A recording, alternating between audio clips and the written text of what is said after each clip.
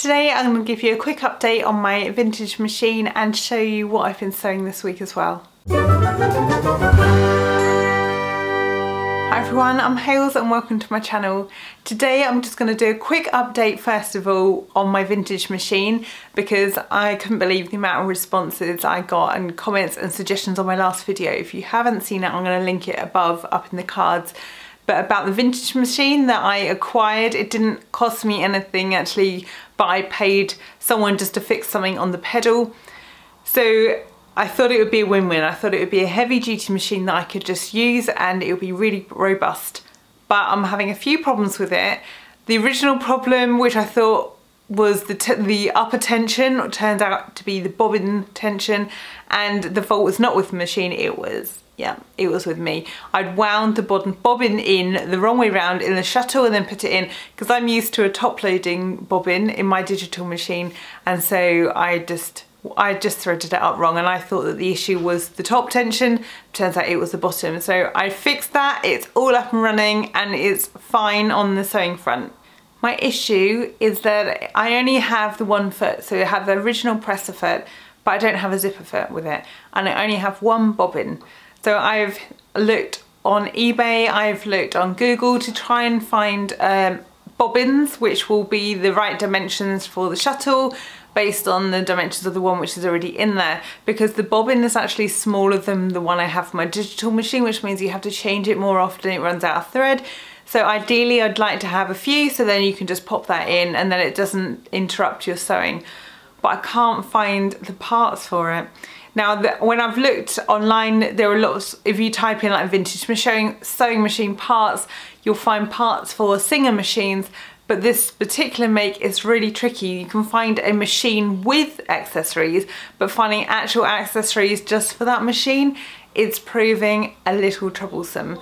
Now, I don't really want to have a machine where I can only use one bobbin because then it's having to like change the thread, you do empty it because ideally you're not supposed to then just top it up with different colour thread. If I'm sewing two different things, then I want to be able to have like one with navy and one with black, one with white, just ready to go like I have at the moment with my modern machine, but I, I can't and and I know some people have linked, um, shared links, but they are maybe from American sites and some bobbins are plastic ones made from China and I've also read reviews to avoid those ones because they either break or they're not the actual size that they say that they are. And then of course, if it's coming from China, I'm probably gonna have to wait about four weeks for it to arrive. So I don't know what to do. I, there's so much love for vintage machines and I wanna love the machine, but I'm also used to kind of the mod cons of my digital machine, but that does struggle with my heavier fabrics, which is what I mentioned in my previous video. So, someone recommended the Singer Heavy Duty machine, which is a metal machine. It's a modern machine, but it's a metal machine and it coats really well with heavy fabric. And I'm looking to sew canvas and fleece. This is all for my husband's cosplay. So they are thicker fabrics than like dressmaking fabrics. So I was just mucking around with the machine. I had some fabric which I showed in a previous haul and it cost me like three pounds for a metre of this. So I wasn't worried about um, if it went wrong or anything. So I was trying to do a v-neck on a top and can you see it's just crinkled it all up. And when I was sewing it, it just, it just, it just gathered it all up. I, like I said, I've tried to loosen off the tension, but it really didn't like it. Whereas when I've tried to sew through some canvas and I've folded it in half, that's gone through no problem at all. So it seems like it would cope with heavier weight fabrics more than just a regular dressmaking fabric. The vintage machine seems to struggle with lighter weight fabrics and when it comes to heavier weight fabrics it's fine except sometimes the reverse button sticks but um, it doesn't have extra bobbins and it doesn't have a zipper fit. So when it comes to making the trousers that I need to make, I don't have a zipper fit, so I'm gonna have to then do the fly front on my regular digital machine and I don't know if that's gonna struggle with that. So tell me down below in the comments what you have. Do you prefer vintage or digital or just a mechanical one? Also, does anybody have the Singer heavy duty um, machine? Because I know there's different models. I'm not entirely sure the difference between them, whether it's just the amount of stitches one does over the other. Generally, I've seen good reviews about them, that they are workhorses, that they will go through really heavy fabrics and sew really well. and they're quite easy to get parts for. So at the minute I am being, being swayed down that path, but also I don't want to neglect the vintage machine that I do have, but I don't know, it's, um, it's tricky one. Oh, and as a side note, in my previous video when I showed the dials and various things like that, the button that I pressed in was not a locking stitch, it dropped the feed dogs down and I learnt that from research. Someone recommended you got looking on YouTube. Another update, I was sewing cork with the with the machine that I had, that was when I ran into problems because the bobbin ran out, rethreaded it wrong and then it wouldn't sew. So this was the Closet Case Patterns belt bag.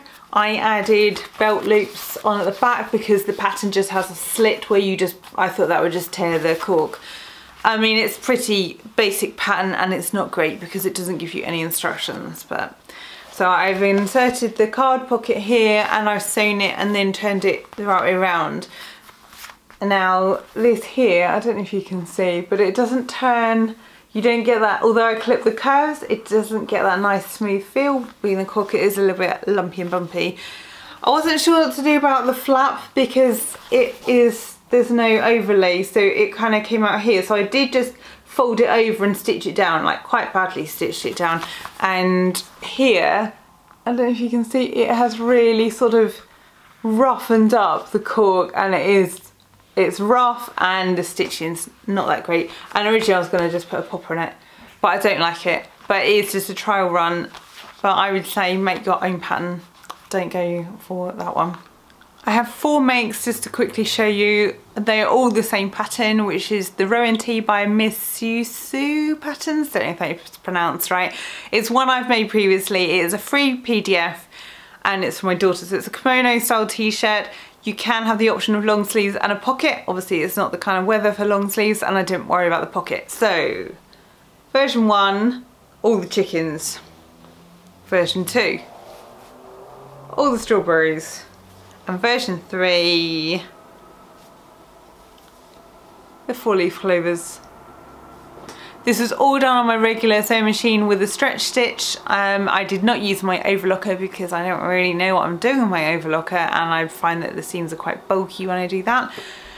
And it was fine. Um, some of them I have zigzagged on the outside, on others I have just left that plain. They are all jersey fabrics from BST Fabrics and I used less than a metre on each one.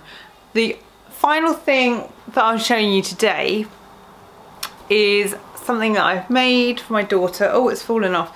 And it is New Look 6505. It's the tunic top with sleeves.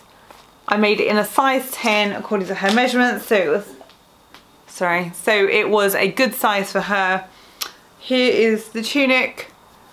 It has a button um, loop at the back and it's just a slip-on thing and it has a tight let me just put it on tight waist uh, with a bow I haven't put belt loops on because my daughter hates it so I gave up because I spent all afternoon making it for her and although she initially liked the fabric she still does like the fabric because it's cotton she won't wear it because she said there's no stretch to it and she can't get it off. It's too tight and wriggles in and out. It fits her fine. I will try and get some footage of her in it and I said if she doesn't give me the footage I won't let her have cold pizza in her lunch for school trip tomorrow. This one also is weird because it has um, lower facings. So, face, so when I, I didn't really look, so I cut the facings out and interfaced them thinking it was for around the neck. No, that's bias binding. Around the bottom, there's interfacing around the bottom hem. It was really bizarre. And then when I sewed the front and the back together, it didn't. It was actually too small to actually fully go around the hem. So I just turned it up twice and just top stitched it. Oh, that was fine. I just thought that was a bit bizarre. Um, I also did add, because she moaned that it was too tight to get on and off, I did put a side slit in, side split, she was having none of that. So it should have belt loops on, but because she said she doesn't like it, she isn't gonna wear it, I have given up. So this is probably gonna be donated to the charity shop and hopefully someone will appreciate it and actually wear it. Over on my mannequin, I do have the top half of a McCall 7432. but I will show you more about that in my next video. If you enjoyed this video, please hit subscribe if you haven't done so already, because it really encourages me. And if you enjoyed it, give it the old thumbs up.